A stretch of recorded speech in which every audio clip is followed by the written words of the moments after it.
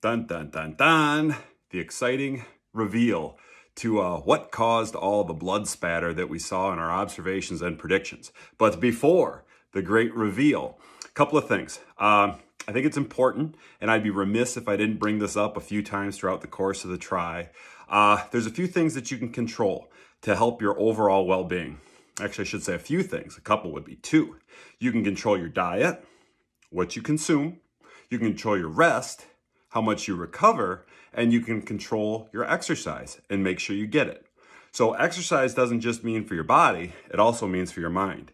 If you get through a 24 hour cycle and you haven't learned something new and broken a sweat, you wasted a day and you can't get time back. So here's a simple exercise and it's also the great reveal of what caused all those blood slash sweat spatters. The burpee. Try a challenge. Try to do 100 burpees for 100 days. It'll kick your little booty. And you might think cash burpees are easy. Agreed. When you do one, try doing 100. Break it up however you'd like, but shoot for 100 a day. So anyways, here's what a burpee looks like.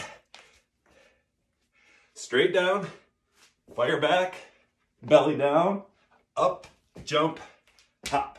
So how did this cause our blood spatter? Well, breaking a sweat, blood, down, passive falls. 90 degrees, basically where the sweat fell off my headband down onto the floor. That caused those circular drops with the satellites that broke free and the spikes. As I fired back, there was a trail of sweat slash blood. And as I fired up, also a trail showing us the direction in which something moved. My hands were sweating. As I pulled them back, that caused a smear. So we left a handprint and the direction of travel.